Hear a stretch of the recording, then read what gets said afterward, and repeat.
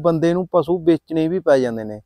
ਆਪਾਂ ਭਰਾਵੋ ਕਿਹੜੀਆਂ ਗੱਲਾਂ ਦਾ ਧਿਆਨ ਰੱਖਣਾ ਹੈ ਵੀ ਜਿਹਦੇ ਕਰਕੇ ਆਪਾਂ ਨੂੰ ਇਹ ਨੌਬਤ ਨਾ ਆਵੇ। ਪ੍ਰੋਟੀਨ ਜਾਂ ਉਨੇ ਪਸ਼ੂ ਨੂੰ ਤੱਤ ਨਹੀਂ ਮਿਲਦੇ।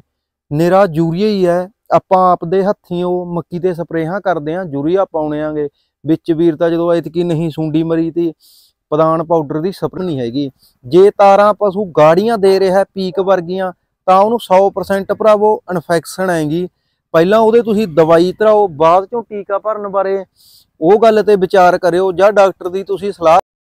ਜਿਵੇਂ ਅੱਜ ਕੱਲ ਦੋਸਤੋ, ਹਰੇਕ ਪਸ਼ੂ ਪਾਲਕ ਵੀਰ ਨੂੰ ਪ੍ਰੋਬਲਮ ਆ ਰਹੀ ਹੈ, ਮੱਝਾਂ ਗਾਵਾਂ ਰਹਿ ਨਹੀਂ ਰਹੀਆਂ, ਬਾਰ-ਬਾਰ ਟੀਕੇ ਭਰਾਉਣੇ ਪੈ ਰਹੇ ਨੇ। ਵੀ ਉਹ ਕੀ ਕਾਰਨ ਹੈਗਾ? ਵਿੱਚ ਤਾਂ ਭਰਾਵੋ ਘਰਾਂ 'ਚ ਇਹ ਨੌਬਤ ਆ ਜਾਂਦੀ ਹੈ ਵੀ ਬੰਦੇ ਨੂੰ ਪਸ਼ੂ ਵੇਚਣੇ ਵੀ ਪੈ ਜਾਂਦੇ ਨੇ। ਆਪਾਂ ਭਰਾਵੋ ਕਿਹੜੀਆਂ ਗੱਲਾਂ ਦਾ ਧਿਆਨ ਰੱਖਣਾ ਹੈ ਵੀ ਜਿਹਦੇ ਕਰਕੇ ਆਪਾਂ ਨੂੰ ਇਹ ਨੌਬਤ ਨਾ ਆਵੇ।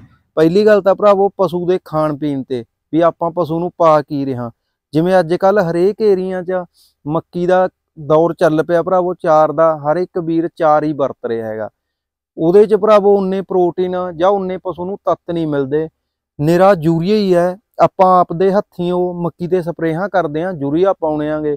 ਵਿੱਚ ਵੀਰ ਤਾਂ ਜਦੋਂ ਐਤਕੀ ਨਹੀਂ ਸੁੰਡੀ ਮਰੀ ਤੀ, ਪਦਾਨ ਪਾਊਡਰ ਦੀ ਸਪਰੇਅ ਵੀ ਕਰਦੇ ਰਹੇ ਨੇ। ਉਹੇ ਜੀ ਭਰਾਵੋ, ਪਸ਼ੂ ਦਾ ਤੁਸੀਂ ਦੁੱਧ ਚੈੱਕ ਕਰਾ ਲਿਓ, ਉਹ ਚ ਤੁਹਾਨੂੰ ਨਿਰਾ ਕੈਂਸਰ ਨੂੰ ਸੱਦਾ ਹੀ ਮਿਲੂਗਾ।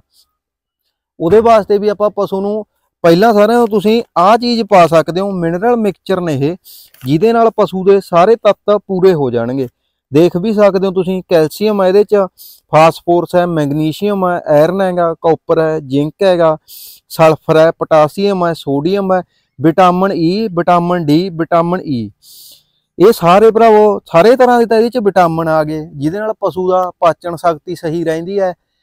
ਬਾਕੀ ਜਿਹੜੀ ਪਸ਼ੂ ਦੀ ਬੱਚੇਦਾਨੀ ਹੈ ਹੀਟ ਵਾਲੀ ਪ੍ਰੋਬਲਮ ਆਉਂਦੀ ਹੈ ਨਾ, ਉਹ ਨਹੀਂ ਇਹਦੇ ਨਾਲ ਆਉਂਦੀ ਹੈਗੀ।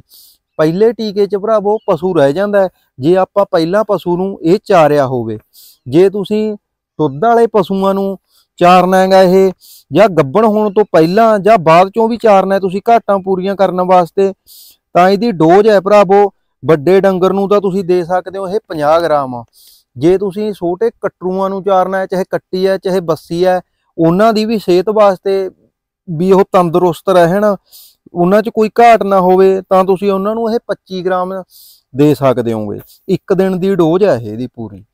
ਤੇ ਇੱਕ ਭਰਾਵੋ, ਜਿਹੜੇ ਆਪਾਂ ਪਸ਼ੂਆਂ ਦੇ ਜਦੋਂ ਟੀਕਾ ਭਰਾਉਣੇ ਆ, ਉਦੋਂ ਆਪਾਂ ਨੂੰ ਕਿਹੜੀ ਗੱਲ ਦਾ ਧਿਆਨ ਰੱਖਣਾ ਚਾਹੀਦਾ ਉਹ ਦੱਸਦੇ ਆ ਤੁਹਾਨੂੰ। ਜਦੋਂ ਪਸ਼ੂ ਆਪਣਾ ਹੀਟ 'ਚ ਆ ਜਾਂਦਾ ਹੈਗਾ ਪਸ਼ੂ ਤਾਰਾਂ ਦਿੰਦਾ ਹੈਗਾ, ਤਾਂ ਤੁਸੀਂ ਤਾਰਾਂ ਚੈੱਕ ਕਰਿਓ। ਜੇ ਤਾਂ ਭਰਾਵੋ ਇੱਕ ਤਾਂ ਤਾਰਾਂ ਹੁੰਦੀਆਂ ਨੇ ਜਮਾ ਚਿੱਟੀਆਂ, ਸਫੈਦ ਪਾਣੀ ਵਰਗੀਆਂ ਤੇ ਇੱਕ ਹੁੰਦੀਆਂ ਨੇ ਗਾੜੀਆਂ ਪੀਕ ਵਾਂਗੂ, ਵਿੱਚ ਜਿਵੇਂ ਪੀਕ ਹੁੰਦੀ ਆ ਉਵੇਂ ਧੱਬੇ ਜੇ ਹੁੰਦੇ ਨੇ ਗਾੜਾ ਗਾੜਾ ਲਿਕੁਇਡ ਜੇ ਵਾਂਗੂ ਬਣਿਆ ਹੁੰਦਾ ਹੈਗਾ। ਜੇ ਤਾਂ ਭਰਾਵੋ ਤਾਰਾਂ ਬਿਲਕੁਲ ਸਾਫ਼ ਨੇ, ਚਿੱਟੀਆਂ ਨੇਗੀਆਂ, ਤਾਂ ਤਾਂ ਪਸ਼ੂ ਦੇ ਟੀਕਾ ਭਰਾਉਣਾ ਚਾਹੀਦਾ ਹੈਗਾ ਵੀ ਉਹ ਸਾਫ਼ ਹੈ। ਵੀ ਉਹਨੂੰ ਬੱਚੇਦਾਨੀ 'ਚ ਕੋਈ ਪ੍ਰੋਬਲਮ ਨਹੀਂ ਹੈਗੀ। ਜੇ ਤਾਰਾਂ ਪਸ਼ੂ ਗਾੜੀਆਂ ਦੇ ਰਿਹਾ, ਪੀਕ ਵਰਗੀਆਂ ਤਾਂ ਉਹਨੂੰ 100% ਭਰਾਵੋ ਇਨਫੈਕਸ਼ਨ ਆਏਗੀ। ਪਹਿਲਾਂ ਉਹਦੇ ਤੁਸੀਂ ਦਵਾਈ ਧਰਾਓ ਬਾਅਦ ਚੋਂ ਟੀਕਾ ਭਰਨ ਬਾਰੇ ਉਹ ਗੱਲ ਤੇ ਵਿਚਾਰ ਕਰਿਓ, ਜਾਂ ਡਾਕਟਰ ਦੀ ਤੁਸੀਂ ਸਲਾਹ ਲੈ ਸਕਦੇ ਹੋਗੇ। ਜੇ ਤੁਸੀਂ ਇਹ ਹਾਲਾਤਾਂ 'ਚ ਟੀਕਾ ਭਰਾਉਣੇ ਹੋ, ਤਾਂ ਪਸ਼ੂ ਭਰਾਵੋ ਰਹਿੰਦਾ ਨਹੀਂ ਹੈਗਾ 100% ਗਾਰੰਟੀ ਹੈ ਇਹ ਚੀਜ਼ ਦੀ। ਉਹਨੂੰ ਇਨਫੈਕਸ਼ਨ ਦੀ ਪ੍ਰੋਬਲਮ ਹੈ। ਪਹਿਲਾਂ ਉਹ ਚੀਜ਼ ਦੀ ਉਹਨੂੰ ਦਵਾਈ ਦਿਓ, ਬਾਅਦ ਚੋਂ ਟੀਕਾ ਭਰਾਇਓ, ਪਸ਼ੂ 100% ਰਹੂਗਾ। ਜੇ ਭਰਾਵੋ, ਮੇਰੀ ਵੀਡੀਓ ਤੁਹਾਨੂੰ ਵਧੀਆ ਲੱਗੇ ਤਾਂ ਲਾਈਕ ਕਮੈਂਟ ਤੇ ਸ਼ੇਅਰ ਜ਼ਰੂਰ ਕਰਨਾ ਤਾਂ ਜੋ ਹਰ ਇੱਕ ਵੀਰ ਤੱਕ ਜਾਣਕਾਰੀ ਪਹੁੰਚ ਸਕੇ ਤੇ ਉਹ ਪਸ਼ੂਆਂ ਦੀ ਸਹੀ ਸਾਂਭ ਸੰਭਾਲ ਕਰ ਸਕੇ। ਧੰਨਵਾਦ।